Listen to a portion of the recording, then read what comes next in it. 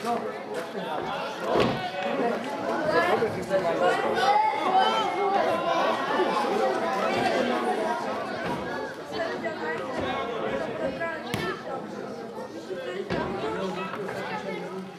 víš,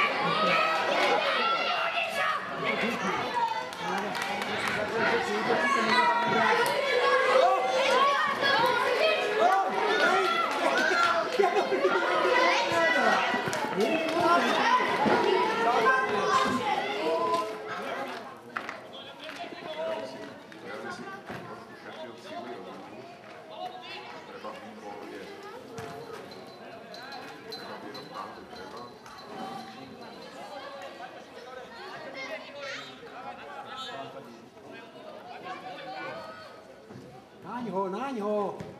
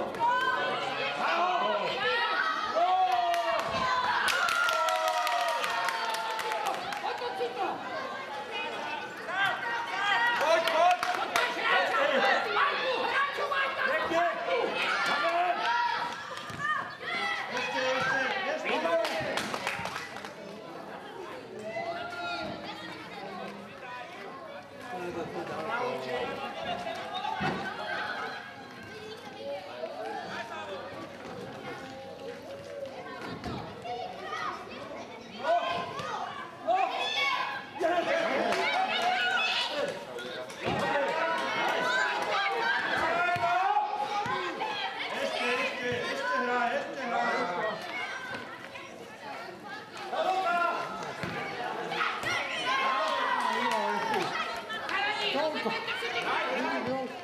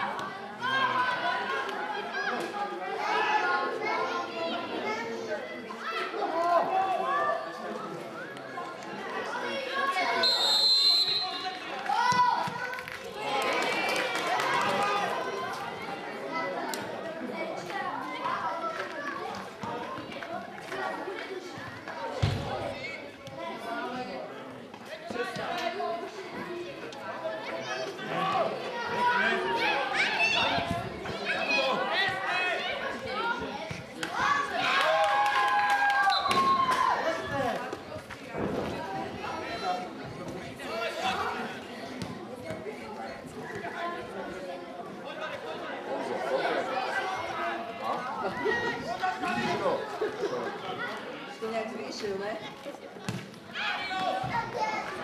Ja, det blir fint.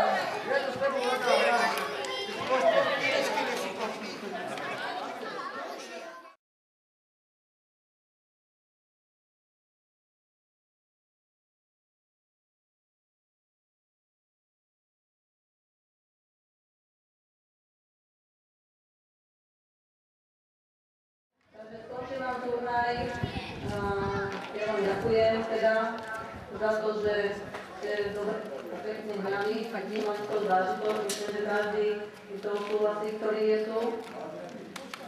Teda, že sa potom aj stretneme niekedy na budúce, alebo nielen na majstrovských zápasoch, ale aj takýchto nejakých priateľských turnajoch.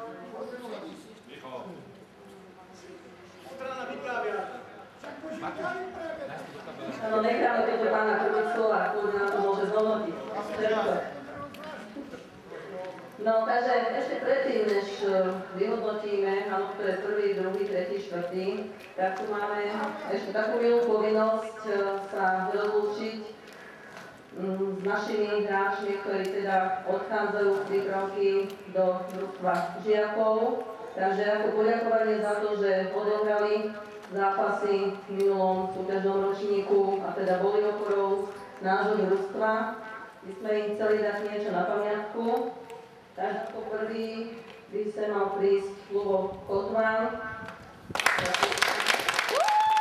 Je naozaj oporou, nielen dnes, ale aj iných zápasoch. Ja dúfam, že teda, že teraz nezabudne a bude Ďalším je Lucia Albrechtová. Je naša opora v obrane. Takisto ako aj Lubo. Ďakujeme Luci.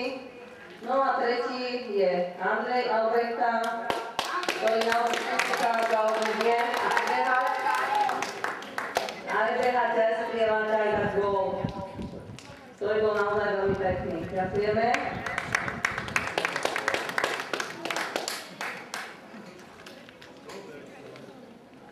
No a ešte sa v tejto trojici patrí aj štvrtý hráč, ktorý tu ale nie je, tak aspoň budem menovať Simon Masár, ktorý mal dnes iné povinnosti, takže dodatočne, keď príde medzi nás, tak sa mu odovzdá to, čo mám pre neho.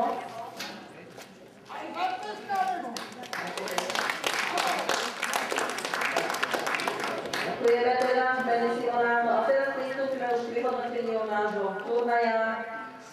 Po dobrej hre, ale uh, malom šťastí, koncovka na štvrtom mieste sa umiestnilo družstvo Petrovej Si. Veľmi gratulujeme. Dúfame, že na budúce to bude miesto prvé. Na treťom mieste sa umiestnilo družstvo. Veľmi gratulujeme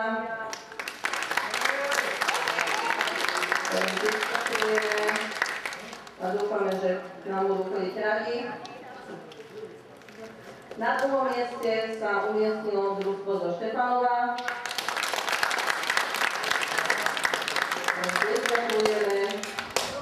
Ďakujeme za pekný zápas. A na prvom mieste po veľmi dobrom výkone a dobrej hre, behavej, naozaj nádhernej futbalovej, čo muselo potešiť teda sa umiestnilo družstvo Voliča.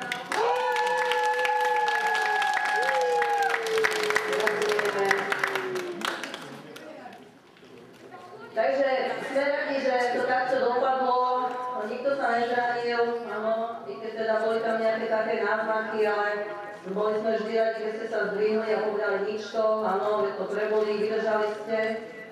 No a keďže sme vás bedlivo sledovali všetkých, ako bolo na začiatku oznámené, že budeme si vás všímať a aby sme potom mohli vyhodnotiť toho najlepšieho brankára, strelca a hráča, tak e, po tom takom pohľade na vás, áno, po tom sledovaní e, vyšlo z toho takéto konečné zhodnotenie. Ako najlepší brankár bol vyhodnotený Joško Smolka.